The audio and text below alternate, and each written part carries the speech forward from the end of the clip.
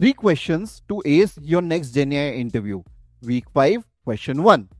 This week's topic RAG. Here's a really common interview question about RAG.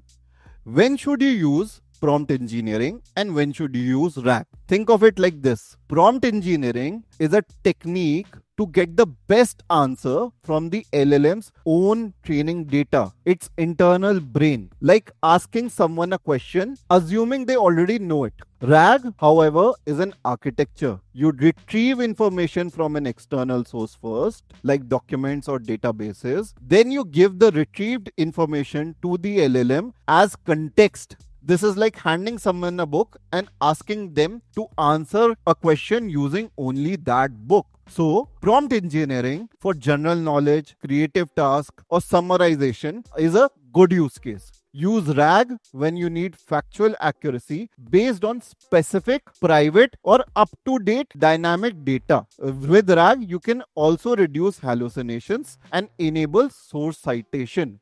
Pro tip don't just list definitions emphasize that in the real world, Gen AI apps often combine both. RAG, in fact, relies on prompt engineering to guide the LLM use the retrieved context effectively. Master this distinction to show you understand core Gen AI architecture patterns.